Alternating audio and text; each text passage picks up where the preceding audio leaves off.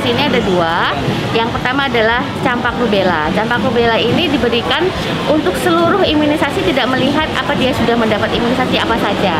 Yang kedua adalah kekurangan imunisasi. Artinya ketika di usia segitu apa sih yang belum diimunisasikan ada jadwalnya. Nah, itu itu kita lengkapi pada bulan Agustus ini. Jadi serentak. Kita berharap bahwa e, imunisasi ini bisa Bian ini bisa 100% ya di Surabaya. Karena imunisasi ini bukan bukan efek yang langsung terlihat ya, seperti mata merah dikasih obat langsung hilang merahnya tidak, tetapi ini adalah jangka panjang.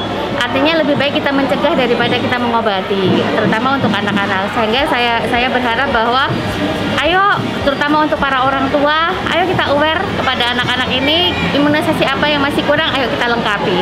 Untuk orang tua jangan takut diimunisasi. Jadi kita samakan pesan bahwa imunisasi insya aman semua untuk anak-anak dan jangka panjang.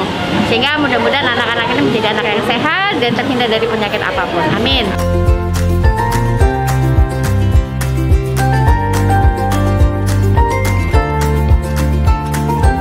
Tadi sakit nggak? Enggak. Rafa berani? Dijelasin di mulut itu apa? Rasa rasanya apa? Mana yang tadi disuntik? Bu